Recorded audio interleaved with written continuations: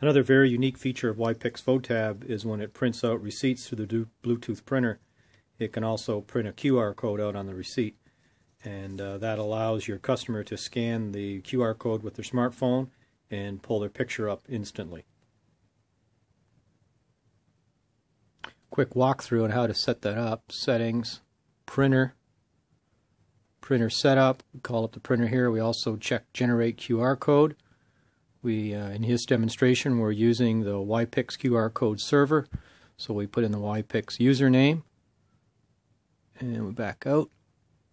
Printer scripting, we've added printer scripting in here and we said scan this with your smartphone to get your free picture.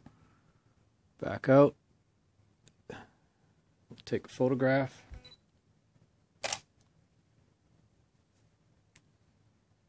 Picture downloads. Going to print out the receipt from that last picture. Tear that off. Take a look at the receipt. 1D barcode on the bottom. And it now has a QR code on the top, which can be scanned with a smartphone to pull the picture up. So let's do that. Okay, smartphone here. I'm going to scan that QR code. There it is.